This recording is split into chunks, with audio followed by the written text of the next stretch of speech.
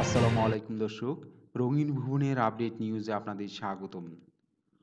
করোনায় আক্রান্ত কবরী লাইভ সাপোর্টে করোনায় আক্রান্ত বরেণ্য অভিনেত্রী সারা কবরীকে সংকটাপন্ন অবস্থায় শেখ রাসেল গ্যাস্ট্রোলিভার হাসপাতালে লাইভ সাপোর্টে রাখা হয়েছে।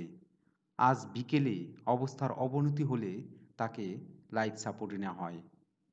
বিষয়টি নিশ্চিত করে কবরের ছেলে শাকের চিস্তি গণমাধ্যমকে বলেন, আমার মা বিকেল থেকে ক্রিটিক্যাল অবস্থায় আছেন। এর বেশি কিছু বলতে পারছি না। লাইফ সাপোর্টে নেওয়া হয়েছে।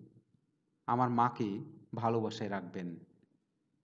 এর আগে গত পাঁচই এপ্রিল করোনা পরীক্ষায় পজিটিভ হন কবরী।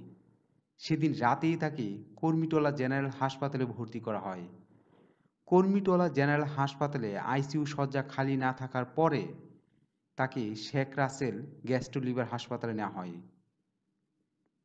সুভাষ দত্তের পরিচালনায় উনিশশো চৌষট্টি সালে সুতরাং সিনেমা দিয়ে চলচ্চিত্রে নাম লেখান কবরী। এরপর বাহানা তিতাস একটি নদীর নাম, রংবাজ, সারেং বউ সহ বেশ কয়েকটি সফল সিনেমায় তিনি অভিনয় করেন।